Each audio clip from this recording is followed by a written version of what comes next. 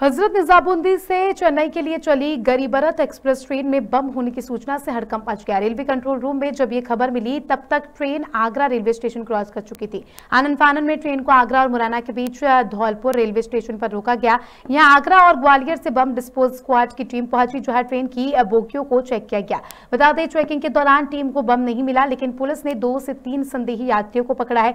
Dholpur, RPF और GRP ने इन्हें अपनी निगरानी में लिया है। चेकिंग के दौरान तीन घंटे से ज़्यादा समय के लिए ट्रेन को धौलपुर स्टेशन पर ही रोका गया। वहीं ट्रेन रात 11 बजे ग्वालियर पहुँची। ग्वालियर में भी 10 मिनट की जाँच के बाद ट्रेन को आगे के लिए रवाना कर दिया गया। जाँच में सामने आया है कि एक व्यक्ति ट्रेन में बैग रखकर चला गया था। जाते जाते दूसरे व्यक्ति से बोल गया कि इसमें बम रखा है। ट्रेन में यह सूचना रेलवे के किसी कर्मचारी को लगी तो उसने तुरंत कंट्रोल रूम में इसकी जानकारी दी। गरीब रथ एक्सप्रेस में आगरा से सफ़र कर रहे एक यात्री ने बताया कि बीच रास्ते में दो व्यक्ति ट्रेन में आपस में बैग लेकर लड़ रहे थे।